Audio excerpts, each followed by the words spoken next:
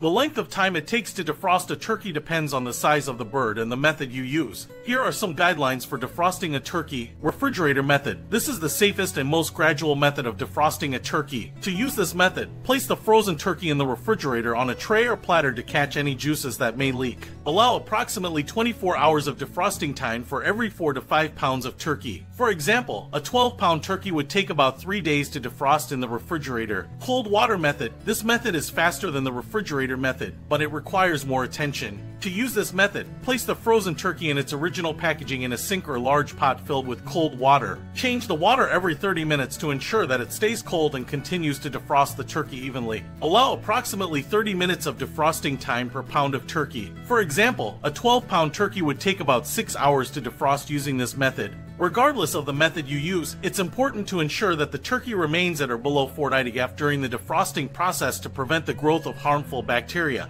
When the turkey has fully defrosted, it should be cooked immediately as it is no longer safe to refreeze a previously frozen turkey.